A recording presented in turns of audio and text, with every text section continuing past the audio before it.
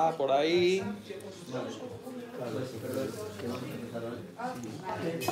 Ay. Estamos ya todos en directo. Bueno, eh,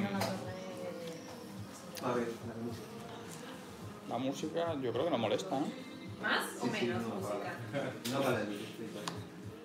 Bueno, ¿qué tal a todos? A ver, os podéis acercar más, bueno, lo que queráis. Luego, por luego, si queréis, podéis ver el libro, ¿vale?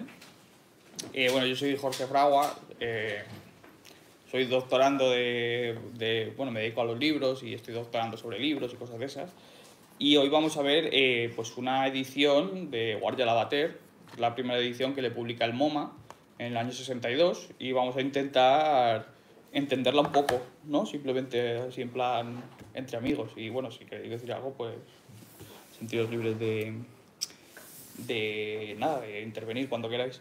Os he preparado un pequeño aquí, una pequeña presentación para ver un poquito quién era Guardia, un poco por encima, tampoco eh, nada demasiado extenso, la verdad, eh, porque básicamente no hay mucha información sobre Guardia Lavater, lo cual es bastante raro y bastante horrible. Hay un par de textos que tienen un poco su, su biografía, pero mm, yo no he encontrado nada traducido, así como largo e interesante, y pues... Bueno, es no, era una mujer. Mm, ya, joder, igual va siendo hora, ¿no? Bueno, a ver si esto anima a la gente a ver un poquito más su, su obra.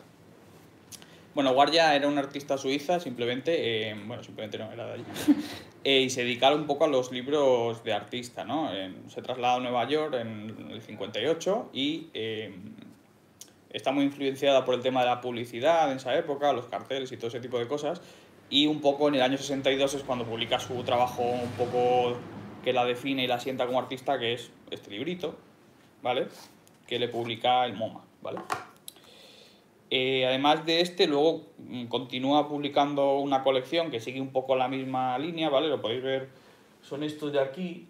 Estos son bastante raros de encontrar el pack completo. Luego han sacado una reedición que es muy parecida, que viene en una cajita y es muy mona, es carilla, pero no es igual.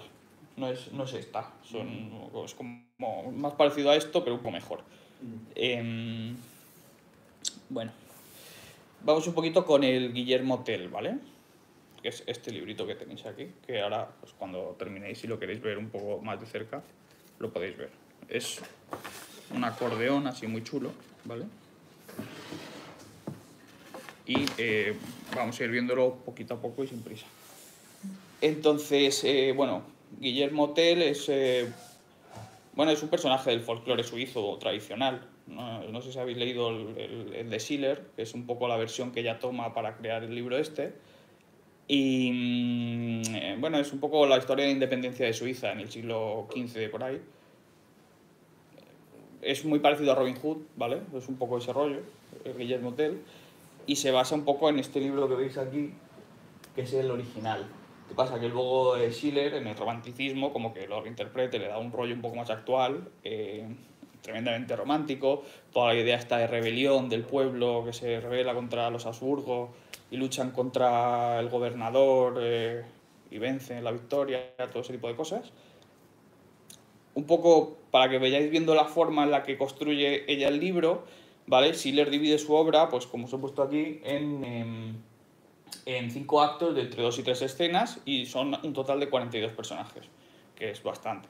Pero bueno, es una obra dramática estás así como de teatro. Em, y ahora vamos con un poco la edición ya que tenéis aquí. Estas son las fotos que hizo así las maravillosas. Y... ¿La edición es del, MoMA, has dicho? Sí, la publica el MoMA, en el año 62.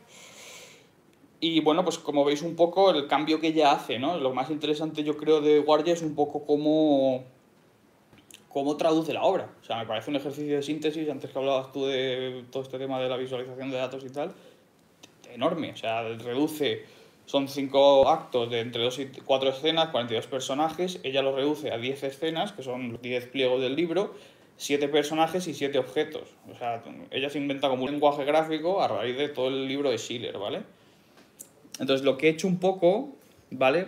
Eh, es intentar que entendáis cómo agrupa las, las, las formas un poco del libro y cómo utiliza ese lenguaje, ¿vale? Que yo creo que es bastante interesante. Por un lado tenemos a los protagonistas de la historia, ¿no? Que son Guillermo Tell y su hijo, eh, importantes.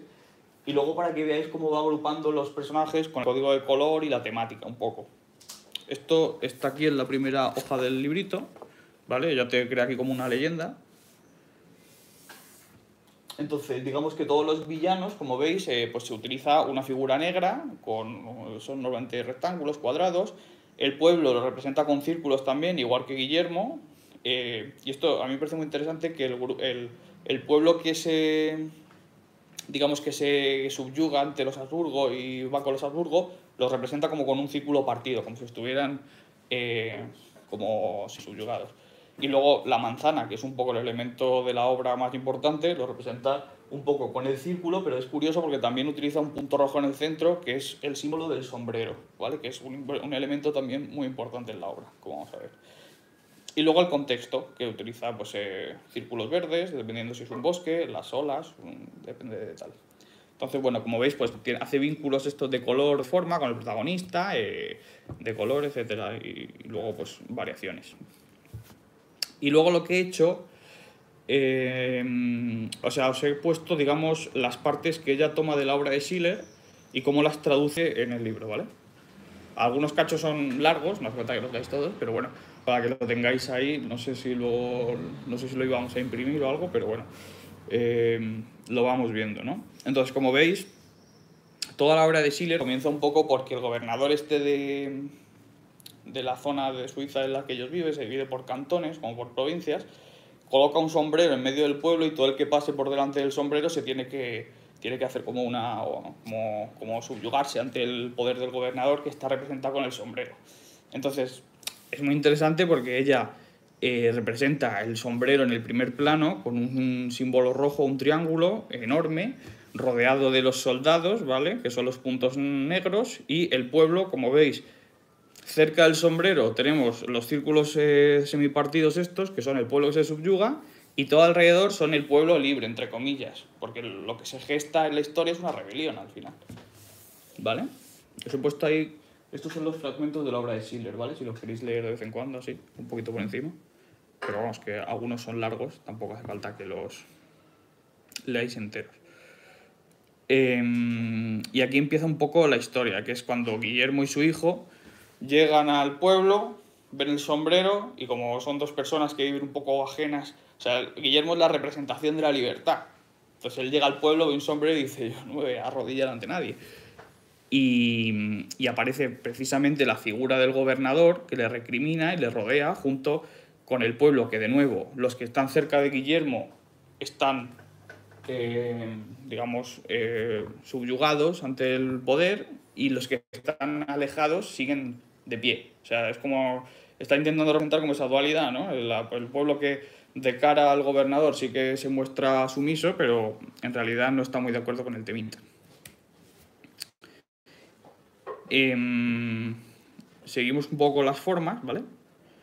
Eh, aquí se representa un poco la parte la parte más eh, la, la, trama, ¿no? Que es cuando Guillermo, como no se subyuga ante el poder del gobernador, eh, le piden que bueno, pues le rodean tal, veis el sombrero de fondo, veis al, al gobernador también representado con el símbolo rojo del sombrero, y en la siguiente escena ya le piden que mm, todo el, todo el trama, toda la trama consiste en que ponen a su hijo una manzana en la cabeza y él tiene que disparar la manzana.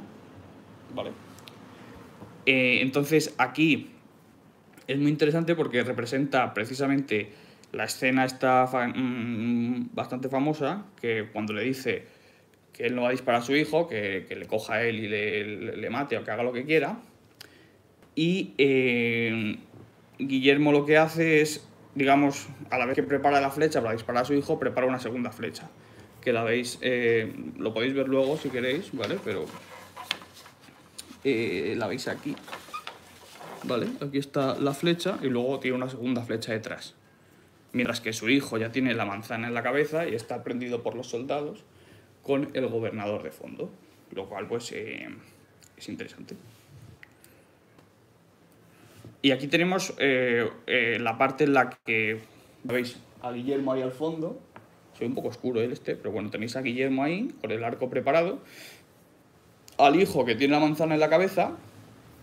Y aquí es interesante porque representa la escena en la que, eh, la que el pueblo se levanta contra el gobernador y le dice, pero ¿cómo le estás haciendo esto Guillermo? Es un hombre libre y maravilloso. Y intentan como intermediar ahí un poco. En esa distracción lo que hace Guillermo es disparar la, la flecha, atravesar la manzana, sin que a su hijo le pase nada, y le confiesa al gobernador en una especie de alegato de no sé por qué, la verdad tampoco lo entiendo. Le confiesa que ha hecho una segun- que tenía una segunda flecha preparada, os lo he puesto aquí en negrito, ¿vale? Eh, porque en caso de que hubiera fallado la flecha y hubiera matado a su hijo, él ya tenía la segunda flecha para disparar al gobernador directamente. Y él todo eso lo dice y dice, "Ja, va a salir todo estupendo. Pues evidentemente no. El gobernador le prende, le sube a su barca y le intenta de alguna forma hacer un poco justicia con él. Es interesante porque seguimos viendo como las formas que ella introduce tenemos el sombre, el gobernador a Guillermo, tenemos también la barca, la representación de las olas, pero el color, o sea, es la barca del gobernador. Go- sigue representando las partes como del gobernador, que eran en negro, como las armas, eh, todo como esa simbología representando el mal. Y em, engaña al gobernador finalmente, le vende, el gobernador se estampa un poquito con el barco, ¿vale? Guillermo salta de la, de la barca, tiene la, la flecha preparada y eh, lo que hace un poco es eh, pues simplemente eh, huir de la zona, ¿vale? Y aquí es un poco el desencadenante ya de la obra, que es por aquí.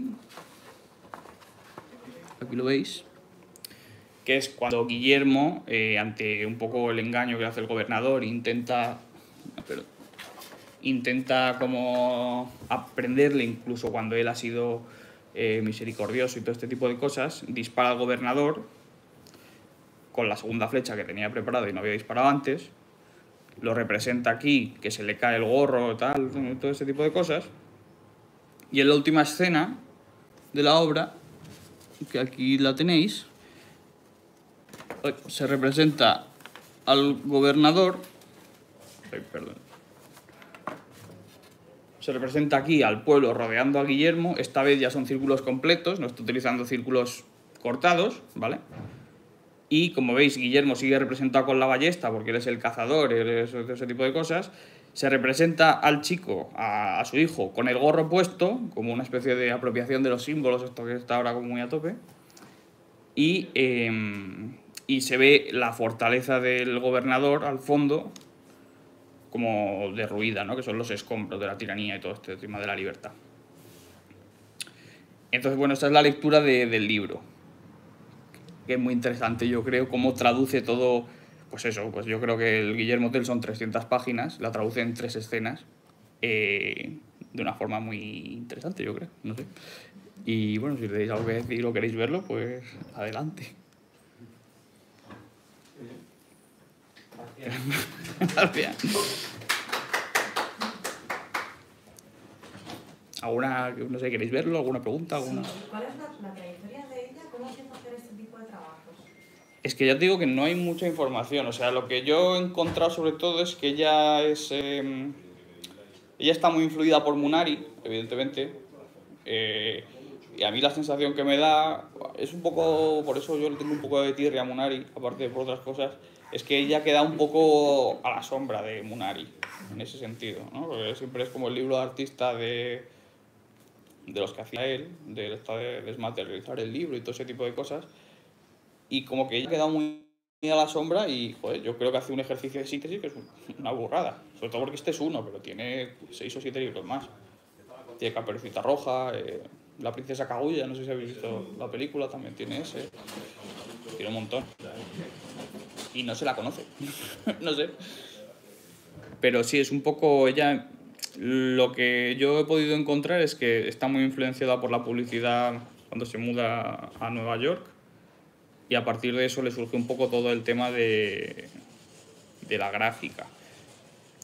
Yo creo que es muy interesante también el tema de que el formato que elige para los libros, sobre todo para esa época, porque si os dais cuenta, joder, o sea, acompaña mucho el tema de que toda esta narración que ella hace, solo con... Porque esto ya te lo pone así nada más, o sea, ya no te está contando nada. ¿sabes? Ella te pone aquí las páginas y tú las tienes que ir entendiendo y las vas pasando. Entonces, que esté en acordeón el libro, joder, yo creo que acompaña muy bien esa narración. Y eso lo mantiene en toda su obra. Que básicamente son los libros estos, no, no hay más. Desde la cajita, ¿no? Dice. Sí. O sea, de la broma. Como tenéis ahí unos Es facsímiles. una edición moderna, no es antigua, pero para, La original es mejor. para, para ver la- las ilustraciones de cerca. ¿Quién edita? Una editorial americana, pero ha venido de Londres. Sí, es que no sabía mucha gente en el mail.